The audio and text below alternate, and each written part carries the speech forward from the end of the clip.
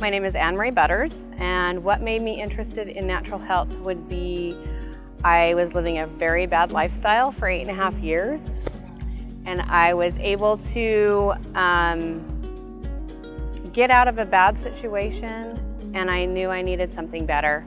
I was on prescription medication for depression, and instead of finding the root cause of that and finding that it's mainly just my voice that I needed to find, uh, they medicated me instead. So because of the work I've done here and because of the energy work I've done in the past, I was able to get off these medications. You know, with with some of the things that I've learned here, I've been able to stay off the medications.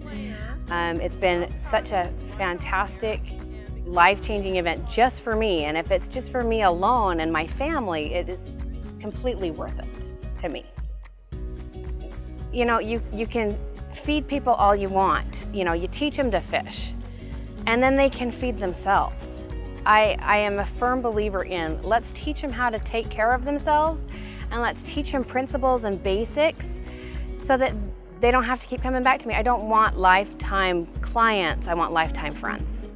Well, because of the dynamic with the instructors, it's been very easy to, to learn and to grow and to feel of their love for us.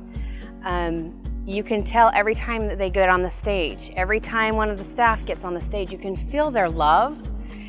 And for me, that is that's one of the biggest things I can think of that, that has helped me is the love I feel from them. And you can feel it so much that it's permeable. It, it helps you learn, it helps you grow because you know that they want you to grow and they're such amazing people that you, you don't want to upset or disappoint.